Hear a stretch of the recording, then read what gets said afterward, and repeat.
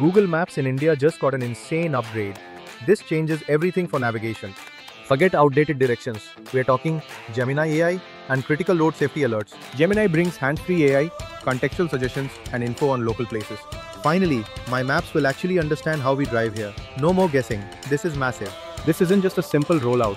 It's deep localization for Indian culture and languages. Nine languages ready to go. And listen to this. Visual and audio alerts for accident-prone stretches. They partnered with NHAI for real-time road closures, diversions, and repairs. No more driving off unfinished bridges like that one time. This is a real game changer for safety. Plus, find public restrooms, restaurants, and fuel stations along national highways automatically. Proactive notifications about major disruptions even when you're not navigating. Mind blowing. And speed limits displayed during navigation in 9 major cities. Voice support for flyovers. No more confusion on those complex interchanges. My daily commute is a nightmare.